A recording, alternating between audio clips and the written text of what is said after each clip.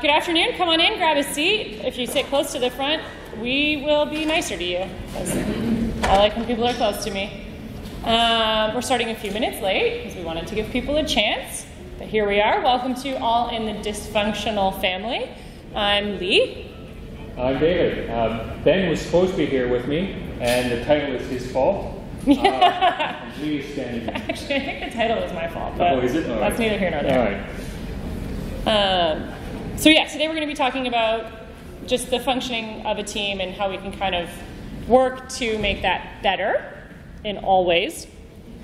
And, some of what we're going to be re- relying on is the experience Ben and I have had over the last four years, um, working with teams, being part of teams, uh, leading teams uh, at Myplanet, and especially our first experience working together on uh, a team that existed uh, for four years ago, three years ago, uh, during that time period, and the the arc we had in taking that team from being quite dysfunctional to a high performance team. And some most of our comments are based on that experience. Hi, David.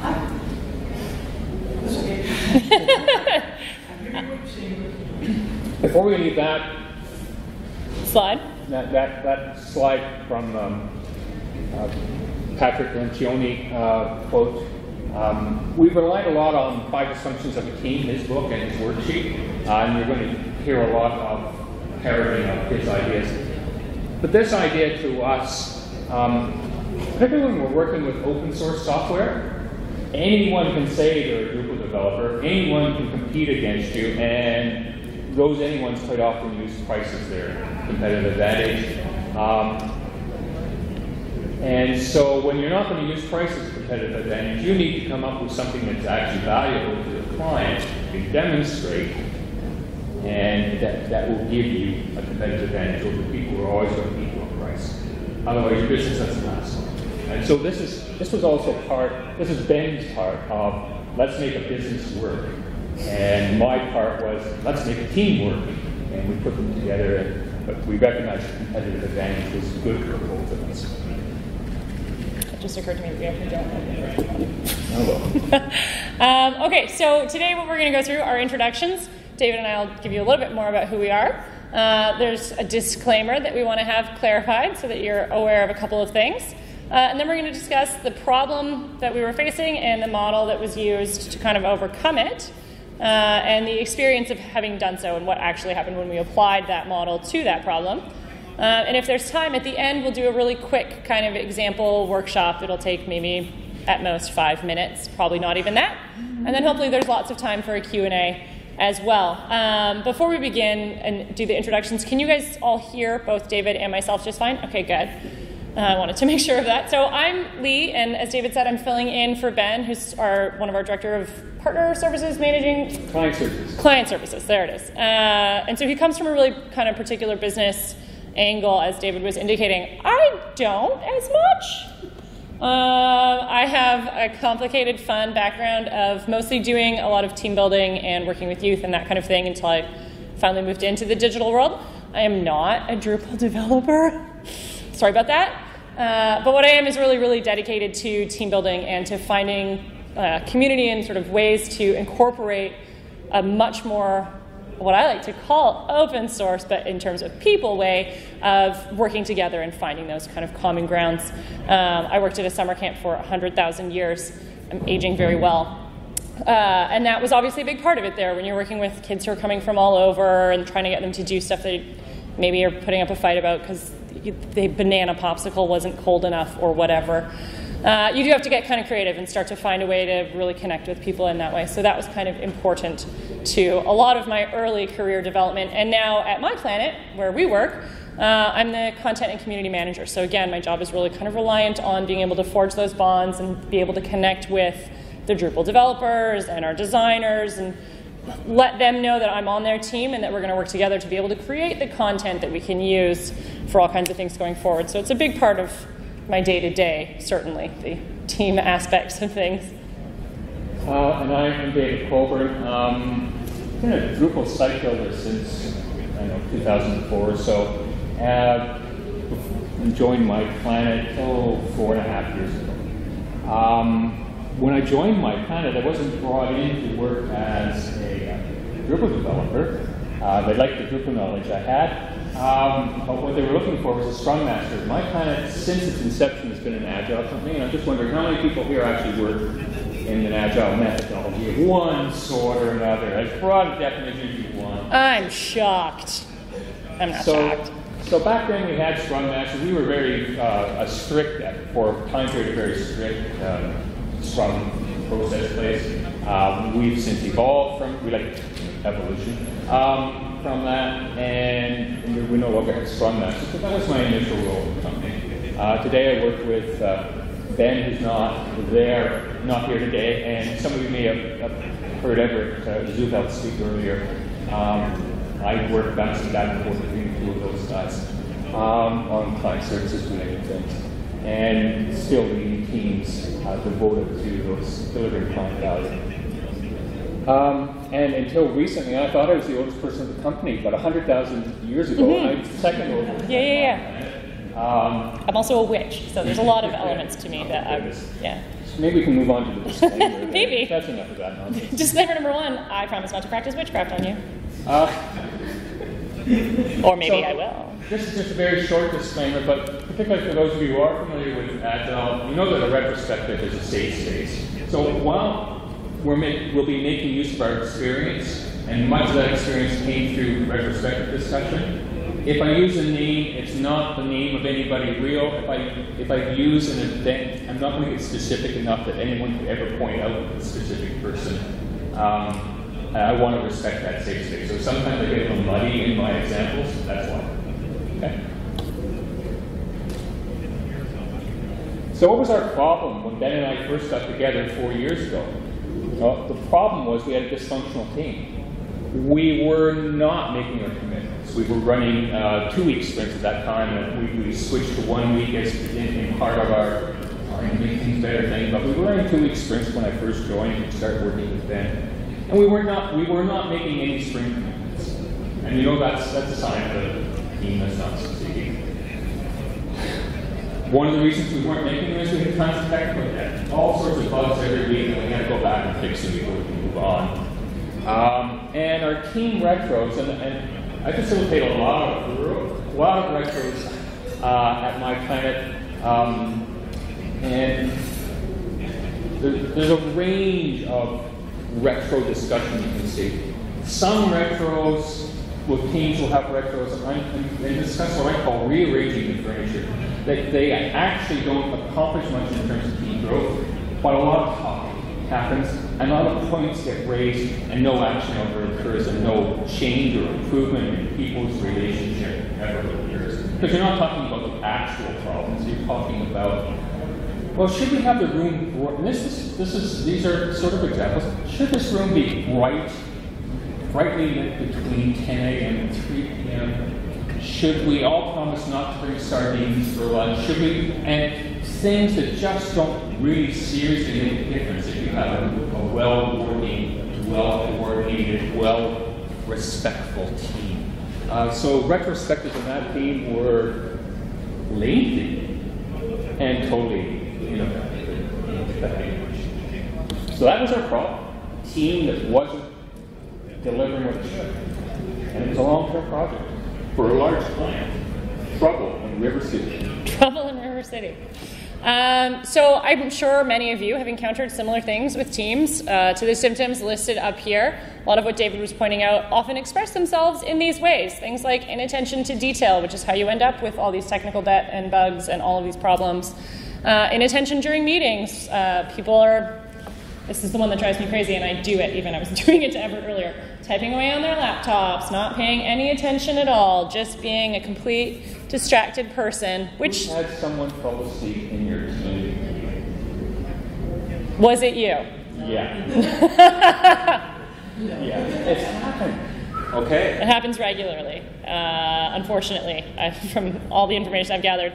Um, people not asking for help or having requests for help go get ignored or, worst of all, laughed at. It's that's uh, a symptom. A, a team that can't actively engage with one another and just say, "Hey, buddy, like I got a question and I need some help with it. If you can't do that, you've got a real problem on your hands. Um, complete silence during meetings. That one's also one that I really I find it very unnerving when someone asks a question and everyone just like as as though nothing happened. It's a very very unsettling response. No one asking any questions. Uh, frequent defects, mounting technical debt. I'm sure there are others. If you have other examples, this is your moment. Shout it out. Tell us your story. no, no others. See, this is that silent thing. Except for you. You laugh. I like that. But all of these things, all of these kind of common symptoms, common distractions, stuff that just, you know, you felt it since early childhood when the teacher would call on the class and, you know, the one kid would say something sarcastic and roll their eyes and everyone else was silent. Like, that's a pretty dysfunctional environment. That's not a lot of productive stuff that's going on. So, all of these things are really, really common. So, those of us who had a role, and I try to avoid the word leader on a team. Um, I've been infected by Neil Slaney. I don't know how you say his name last name, but that's my best. He has been practicing though. and I believe in leadership on teams, but, but leadership comes in various roles and, and aspects of every person participation on team. And three of us, Dan, myself, and Everett, again, sat down um, over a period of days and went, look at this list of, of things that we recognize in our team, in ourselves. And, and it, we had to, be, had to become self aware of our own failings too, as the people who had the role that was, was supposed to generate uh, results in terms of us becoming a better team. Um, Everett and I, for example, it may surprise you listening to me right now to, to hear that Everett and I have no trouble talking. Uh, and will do so for a long time back and forth, even in a meeting of people um, who also should be participating. So we realized that we had to stop talking. That was one thing. Um, and, and, and listen to the silence and let the silence percolate. So there, there was a, a, a strong need for self examination by the people facilitating the team uh, processes and the team meetings and the team growth to see where they were failing the team and its growth and to find ways to help the team succeed. And so there's a little bit of personal discovery in order to have team discovery. I'm not going to read any of these things out, out loud. You're good readers, I think. Or not. or not. In any case. So, re- really, the point is that no team is perfect, and, and, and you have that arc of seeing teams improve if you're lucky enough to experience that. Um, but there will always be issues in a team, and that's why the process of retrospection and self-examination um, needs to be continuous and uh, needs to be based on a strong foundation. We were seeking that strong foundation, and we think we found it in uh, Lencioni's work. The, I think the most important thing about teams is they are made up of people, and people are pretty imperfect as a species. We don't quite have it figured out. We're getting there, though. Ooh, can't wait for AI to control my brain. Um, so this was what Patrick Lencioni sort of introduced in the book that they relied on, and I don't know if any of you have read the book before or if you've seen something similar to this, uh, but these are the five dysfunctions of a team that he sort of identified and laid out. And we found them really kind of productive and worthwhile to build off of. So the absolute foundational base mark there is the absence of trust. Uh, and that's the thing that means people aren't going to volunteer information. It's the thing that means they'll make a snide remark instead of actually expressing how they feel. It's the thing that causes them to disengage entirely. So the absence of trust on a team is a really big. It's why they don't answer questions or ask questions or offer help or they laugh at people asking for help. I mean, there's kind of everything spirals out from the absence of trust on a team. Yeah. Can I interject on trust a bit? And trust there's two types of trust. I'm not talking about the first type of trust. You know, the first type of trust is, is my lending Lee a loonie and, knowing that I'll get it back. He will not be getting this back. but I'm but honest. The second type so. of trust is knowing that when Lee tells me she's not going to give it back, that is indeed what's going to happen. So there's a deeper type of trust in, in human interaction that's more than just the social trust of, yeah, I'll show up time and have coffee with you or show up for dinner. That, that, that level of trust is simple, and its existence isn't an indication that there's a deep, the deeper level of trust that we want to have in order to have good human connections in terms of all the other things that he's now going to keep moving on. Keep moving through. So the next layer is the fear of conflict. And unless you trust one another, you're not going to be willing to challenge someone on what they're up to. If I don't believe that David's going to respect my opinion or is pulling in the same direction as me or understands my goals, there's no way I'm going to say, you know, I don't agree with you on this because it's easier just not to disagree with someone. It's easier to just shut it down and then go do my own thing and damn whatever happens. Uh, lack of commitment is the next one up. So again, that you're not willing to challenge someone because you don't trust each other, then you're probably not going to be engaged with what they're caring about, and they're not engaged with what you care about, and neither of you is committed to any of the goals that your team should have in common. Something, something important here to recognize too is that commitment isn't consensus. Right? If you have trust and if you can have healthy, productive arguments, discussions, and disagreements, you can re- recognize that you don't all have to agree 100% on the course of action, but you will trust that the group has made the best decision it can in that time and place. And even if you disagree, you will commit to that decision. You won't remove yourself from the equation and go, okay, I'm going to watch it fall down. Because you trust and you've had your chance to be heard and considered respectfully. So commitment is not the same as. Uh, welcome to our Johnny and Judy Come Latelys. We're glad to have you. I stole a loonie from David earlier. That's kind of all you've missed. Uh, avoidance of accountability is the next uh, sort of not pillar, layer of the pyramid.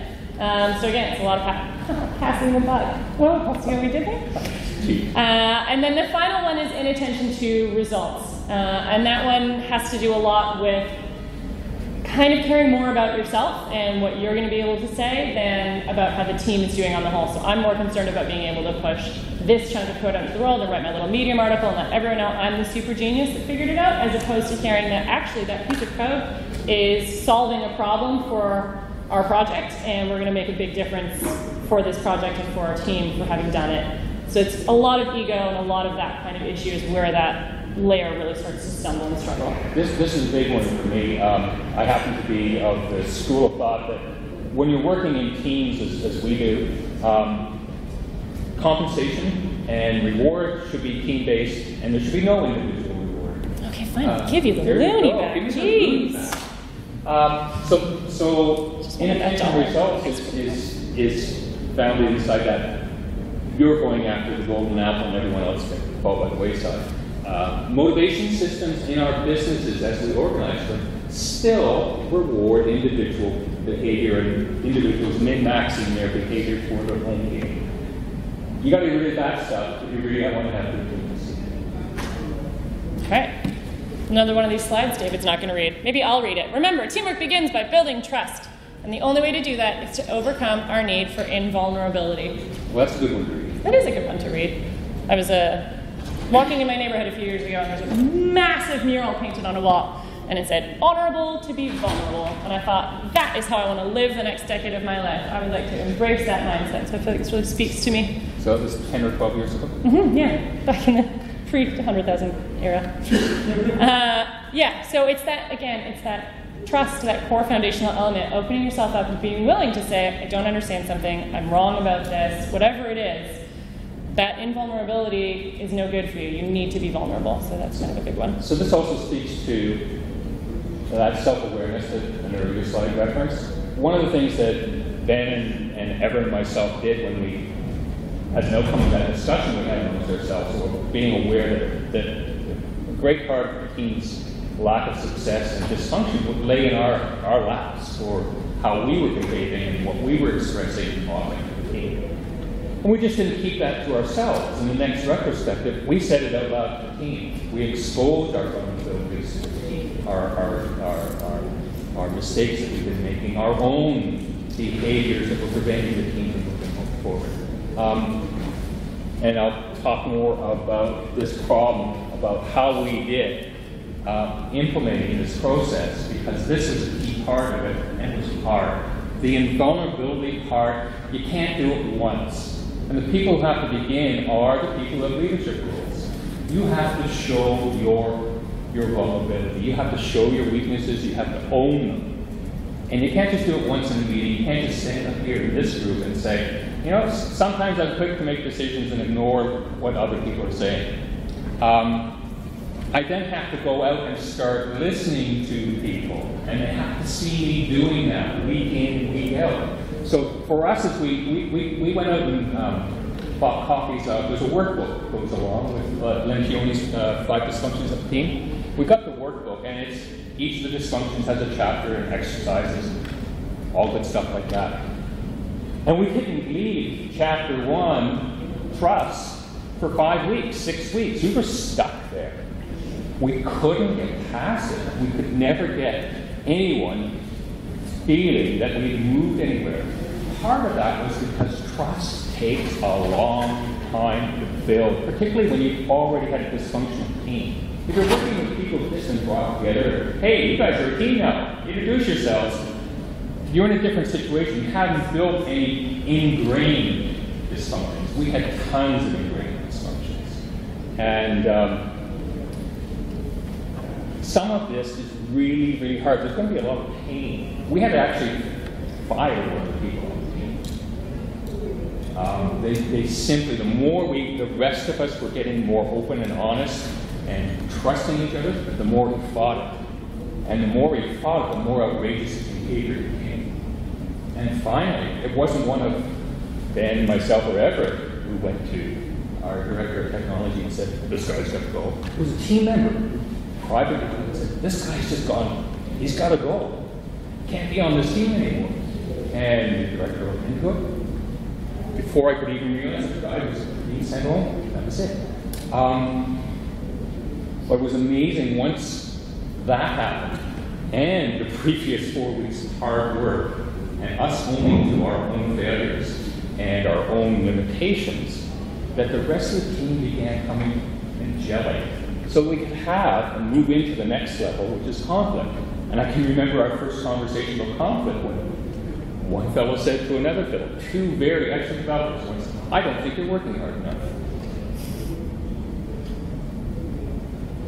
Many of you have been in retrospectives. How often have you heard someone say, a developer say to another developer, I don't think you're working hard enough. I don't think your work is good enough. I think you're holding back your team has really got to progress to have that said out loud and not totally implode into a fistfight. And it did. What happened out of that was a really constructive dialogue where the two fellows realized that they were working in different time cycles, and one guy was actually taking his work home and continuing, and I don't like that. I don't support working at home, but that's what he was doing at the time. And between them, they managed to get past whatever damage if you were in a dysfunctional team said something like that, that relationship would just be going down. Um, they got past that and continued to be productive collaborators on that team, that excellent team that that group of people became. Um, so without the trust, you can't have those really, really tough conversations. You need both the interpersonal effort that somebody may be making on team, but also about how are we going to technically solve the problem that's in front of us? And one of the signs that we had cracked it was the 10 months later, we moved, for the same client, we moved on to a different project. Already eight weeks into a technical solution to a problem. And we were following, because they were our biggest client at the time, we were following their suggestion as to what the technical solution would be. We were still a young company. Uh, and we didn't push back enough. And eight weeks into it, it wasn't Ben or or, or myself who said it. One of the developers, the one who was told he hadn't worked, wasn't working for him, he said, you know what, I have a better idea. I know how we should be doing this. And he made a suggestion, won over the rest of the team, went to the client, who because in the previous 10 months we had so improved and become so consistent and so reliable in delivering value to them, trusted us. And so they, they said, okay, we'll pay for you guys to experiment with this new idea for two weeks. We experimented with it for two weeks, came up with a proof of concept inside of two weeks, and they said, we like this better. We can sell this better. This gives us better value. Throw out the previous eight weeks' work, we're paying for it. Add eight weeks to the contract and build this thing this way. We couldn't have done that with the team we had a year before. It was the same group of people. So the payback to us in putting effort into the human relationship side of our teams was the ability to pivot on a project, innovate on a project, and have clients trust us deeply enough to pay us for eight weeks of work that we just threw into the bin. That's the, the competitive advantage of well-functioning teams. Yeah, there, we, there, that's my quotation. David likes to see his name in lights. There's no name in that, so we really Too bad. watched it on that. um, does anyone have any questions up to this point? How are we going to? Tons of time. Oh, jeez. Right? I just speak more slowly. No? Nothing so far? Okay, well then we're going to do the sample trust exercise because we have time. So, You got here just in time for it. so the first question is, are you willing to do this? What, what will Oh, look at those thumbs up. I love them. What will be involved is in self-selecting groups of four to six to eight people, whatever you want.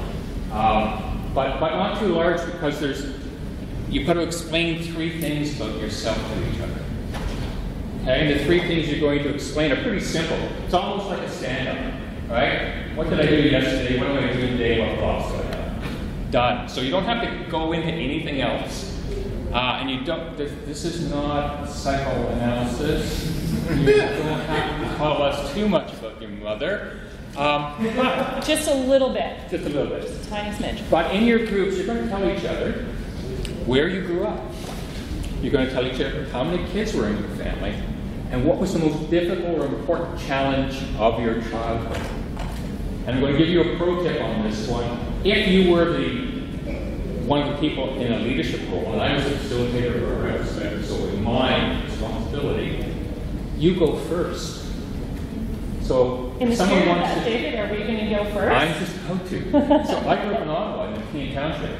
Not, well, it's not far from here. My dad actually was a uh, general contractor who built the Beaver Station. Uh, that spiral uh, ramp was a balsa wood model my dad paid before it was concrete. How many kids? Five, six, one guy. Um, what was the most difficult, or important challenge in my childhood? getting over anxiety and fear of social um, situations. Uh, I almost failed kindergarten because of shyness. Um, yeah, go figure. Um, but yeah, uh, so that was the, and it, and it haunted me all the way through until I, I went off to university through that. So it was a huge barrier to my having an enjoyable life. And uh, yeah, that was my most difficult challenge. Excellently done. Thank you, David, for sharing. And they've done it before. Maybe once or twice. Um, so I grew up in the what was at the time a budding metropolis is now an abandoned metropolis. No, it's not. It's still budding. Uh, Vancouver. I grew up in Vancouver, which is both very busy and very abandoned at the same time these days. Uh, I'm the youngest of four kids, explains a lot about me. Subscribe to the way children pan out. And the most difficult, important challenge of my childhood was not overcoming shyness, uh, Nope. but accepting that the spotlight would not always be on me, which I struggle with to this day. Um, I had a really hard time accepting when things didn't go 100% my way as a kid, and it was a hard thing to do to deal with when you have three older siblings who don't let anything go your way. It came up a lot. So, um, again, the idea is that this exercise doesn't immediately mean that anyone trusts me deeply enough to take my word that I'm going to complete a project when I say I did pick up a, a ticket. They're not going to have that deep assurance. I really need it, and I really will follow, follow through. But it's a beginning, right? And the rest of it has to be your behavior during the work week with each other. And it just takes five or six weeks, and you can turn that, that, that around. And doing these exercises, these sort of exercises. So if you'd like, a, if you could self-select uh, into groups and, and just separate enough that you can talk to each other. Because if we have us all do it one at a time, we'll be here until people? Oh, five or six, whatever feels comfortable. Uh, and we'll, we'll walk around, but if each group has to make sure that someone is sort of facilitating. Okay?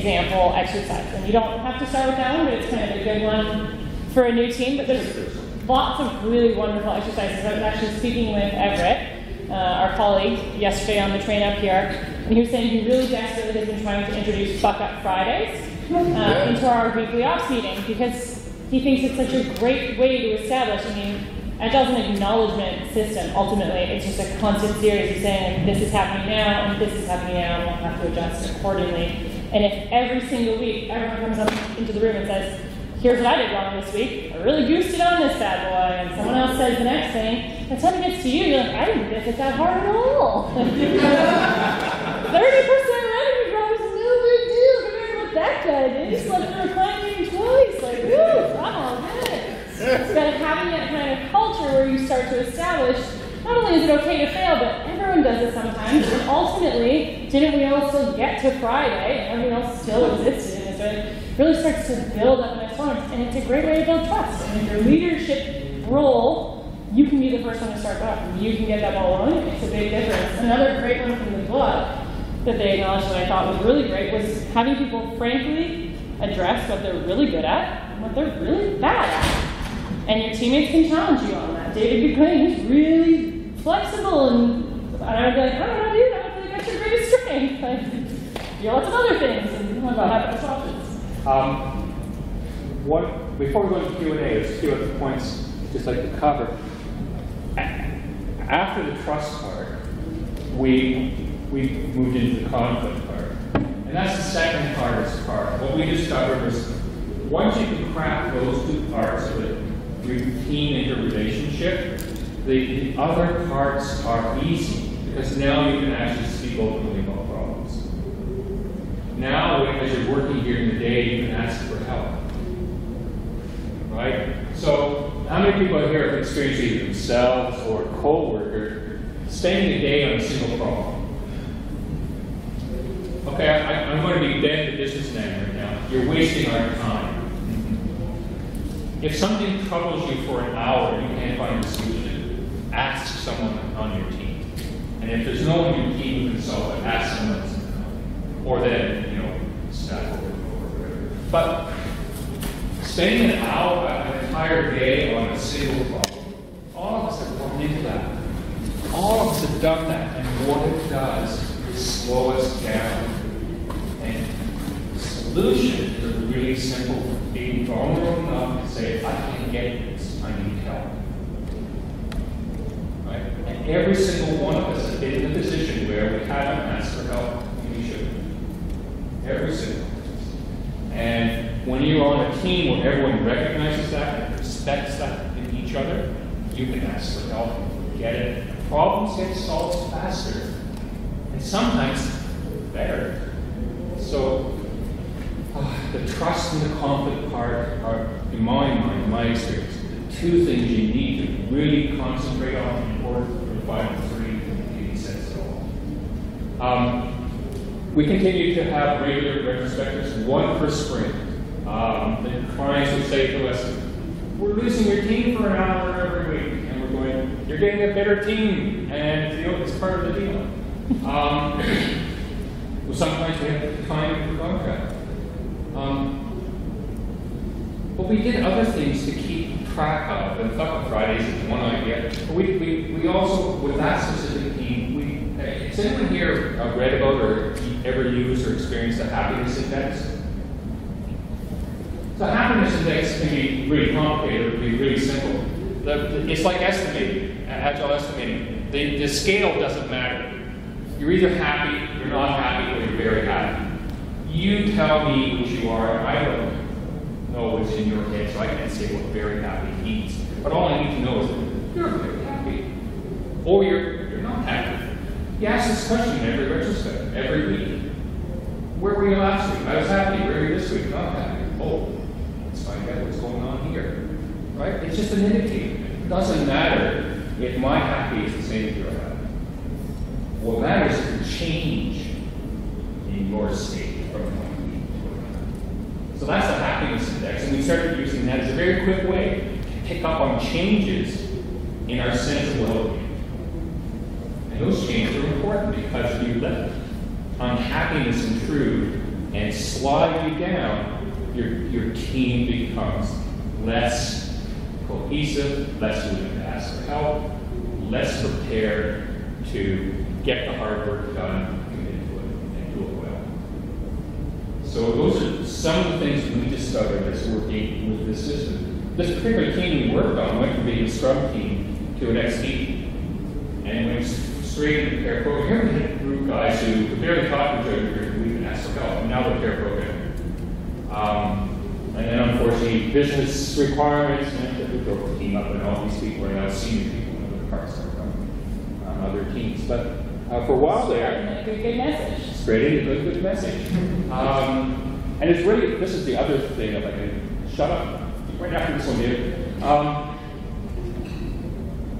when your organization is totally out agile as ours is, even the administrative people work in an agile fashion. They use Kanban, that's fine. Um,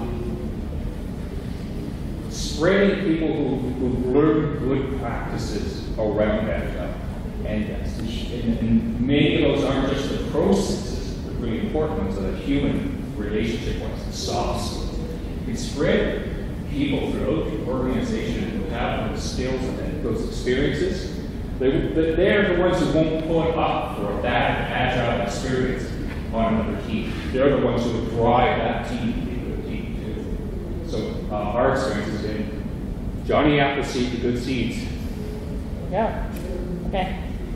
Not too far. So, questions? Too aggressive. Too much side Or arrow observations or discussion. That Uh-huh. would create a discussion book. I think you might have mentioned this, but end to end, how long did the whole process take from start to finish to really feel that your team was? So the team had existed for, it was like four or five months or something, wasn't it? Before you even started to Yeah. use and apply these techniques. The team had been brought together in December. Um, ben and I started working together on the team in April.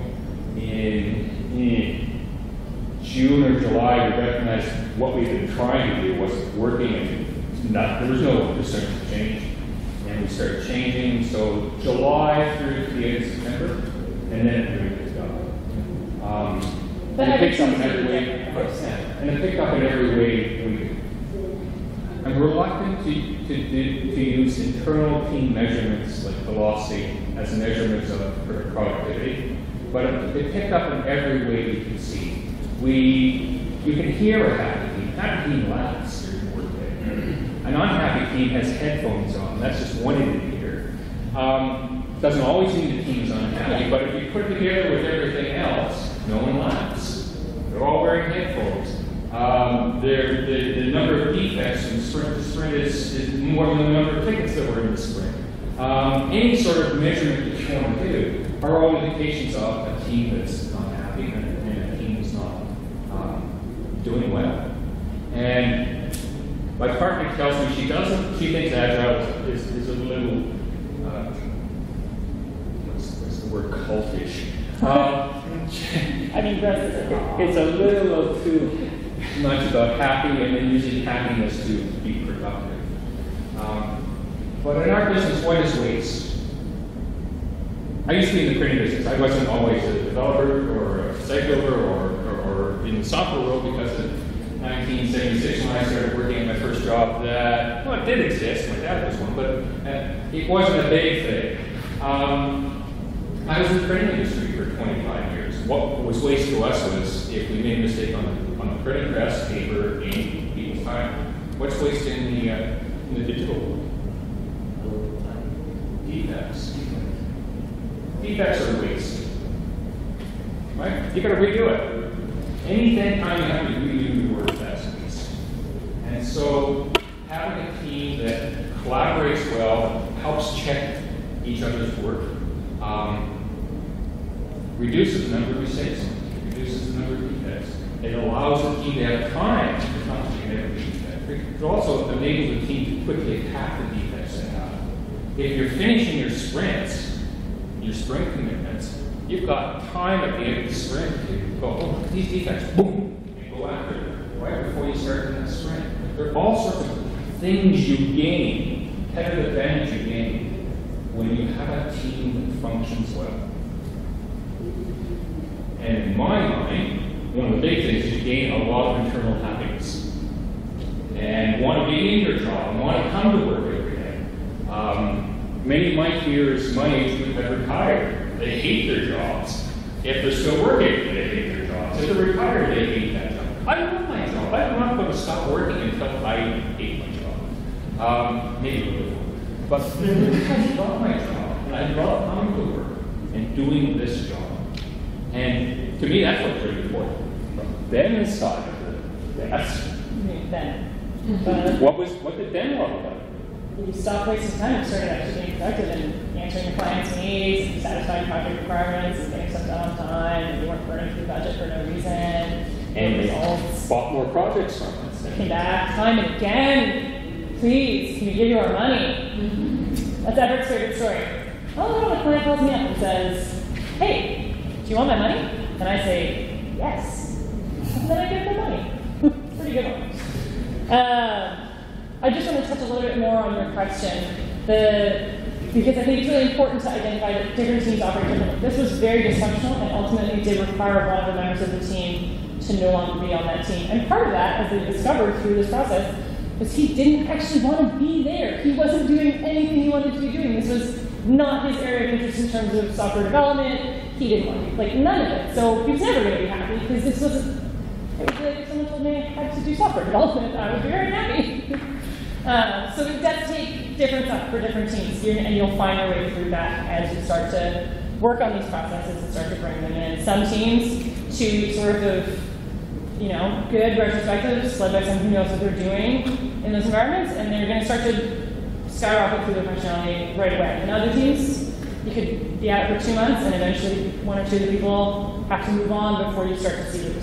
So it, it does vary quite a bit. Did you feel like there was any regression, like in terms of like what you have to do to like carry the momentum after? You had to continue that self-awareness, be consistent on the retrospectives, and not let them turn into furniture adjustment retrospectives. Um, and it's not that every retrospective has to be deep gazing into your soul, but you just is there on? Are we still being honest with each other?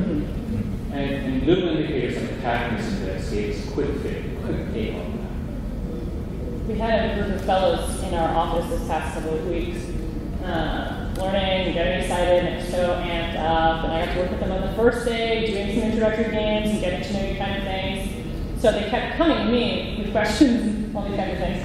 I know nothing; it's useless for them. Um, but they, one of them had this like formula for love that he was sharing with the group at one point, and it obviously there is no formula for love, really. The formula was like every variable has to align, which is useless. But one of the things he said that I think is true for love, for friendship, for any relationships with you and your coworkers is, uh, not, I can't remember the word now, it's a very strange word. Anyway, it was about spending time. You just spend a little bit of time, and then you spend a bit more time, and then you spend a bit more time, you start to just bond kind of innately with people. And that's why things like having the headphones in and being in your own little corner all the time it might be easier to do an worth of really concentrated coding that way. It's a lot harder to build a connected relationship with your teammates, to collaborate on things, to build that sense of trust. So there is an element of just having those retrospectives and spending that hour, hour and a half together once a week means you're spending time you're getting this time, you're actually just acknowledging each other's existence in a way that you kind of have to keep doing in order to continue to see the results. The book recommends like flop sites once a quarter, twice a quarter, whatever it is, but that idea of just like kind of taking that group and letting them be a group for a chunk is a really important aspect of it. Other questions? How did you feel about the, the little exercise? Was it just like in the room in the day, or, or did you see any potential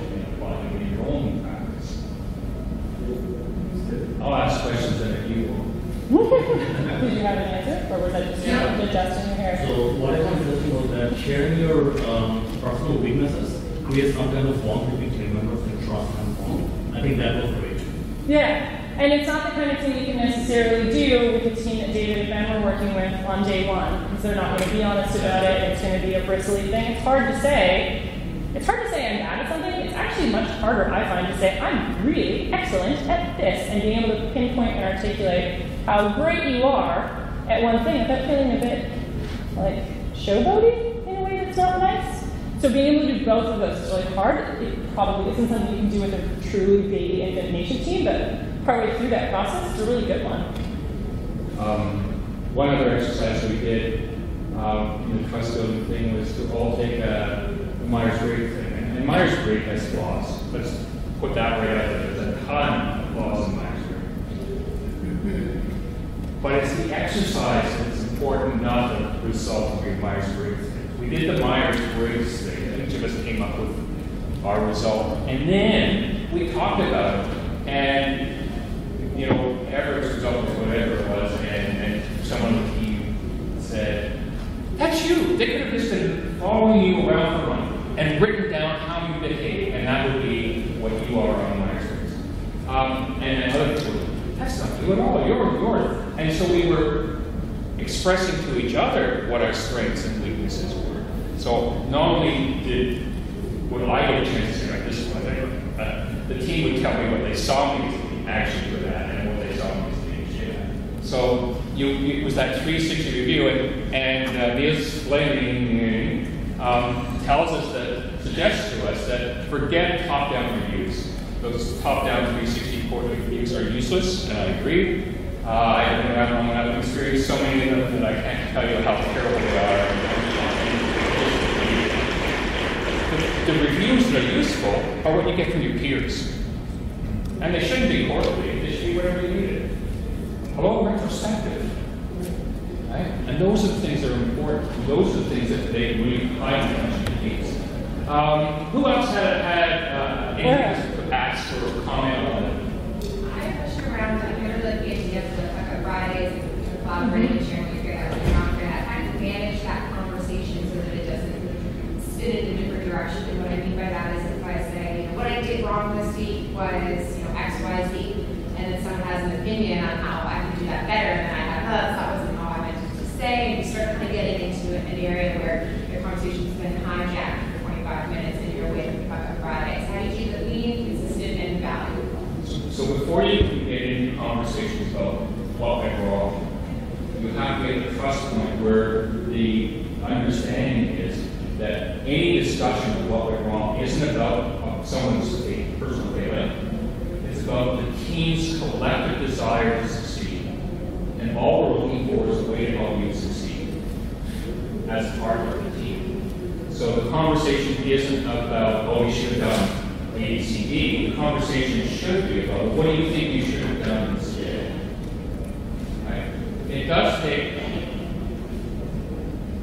and I, having, as, given that I'm not a trained facilitator, I believe it doesn't, it does take s- someone willing to facilitate, but it doesn't take a trained facilitator. It takes someone who, who has empathy, it takes someone who maybe does some reading, is paying attention, and is willing to interject. The Scrum Master is a good role to do this, is willing to help nudge conversation back inside a forum piece of it. So I, I, I think there needs to be a facilitator. If the team isn't at a point where they have that sort of conversation, and not. Yeah, I think probably for those specific examples, I mean, you lay out right very clearly to the whole group in advance. All we're doing is stating the thing. We're not going to get into solutioning right now. We just want to hear the thing. We just want to kind of have this be a place to air it. And then if that does start up having a, an appointed facilitator, and that facilitator can rotate. We're, we've done a lot of experimentations with rotating retro facilitators so that it's not ever Works just well. one person who takes on the role of like dead mother, let me, everybody obey my rules kind of thing. Uh, and that, that person who said, okay, David, I love your ideas, maybe you guys can talk about it afterwards on how to solve it. And that would be great. And we'll just, now we're going to go across to Marco and say, give us all the information we've got. What kids fucked up this week? Marco, like just kind of reroll it that way. One facilitators know to group the time of the discussion and act for change, but it's mm-hmm. that's like my comfort first. We are, I think, just last night, time we did have a question, so let's Yeah. We have another thing, so now we are a very small package, team, and we are so chatty, we are so bonded. Oh, yeah. Like, so it's hard to find focus time. So how do we get back from that and to this level? From two tiny not focused on your working out. Yeah. You figured that out. I can let you know because it's my perennial challenge. I'm the chattiest. Everyone comes out of our sessions like, what, we would never be out there. Uh, the ground rules, having things again, like those hours from 12 to 2, we can chat all along. Lunchtime, we're in and out, that's great. But from 10 to 12, we're silent. Check 2 four to hours. 4, we're silent. Like, yeah, it's having those. In that case, set four hours, and in four hours, a request for help or information. No copy. And you can have, again, that rotating ambassador every day, so that people start getting in line, like Tuesdays, Mondays, hey guys, can we just remember, it's still in there four hours, forty-five minutes until we chat, we're going to go live, you a little break, that's cool. So, someone who's kind of helping steer the ship, but I wouldn't ever put it on just one person's shoulders, and it's really funny for them, that's being taskmaster. Anyway, thank you guys so much. So if time, if you have questions or want to discuss it uh, any further, um, we're going to be in, we're sponsoring the green room. Uh, You can just come in. You should bring a shawl. It's freezing. It's very cold in there.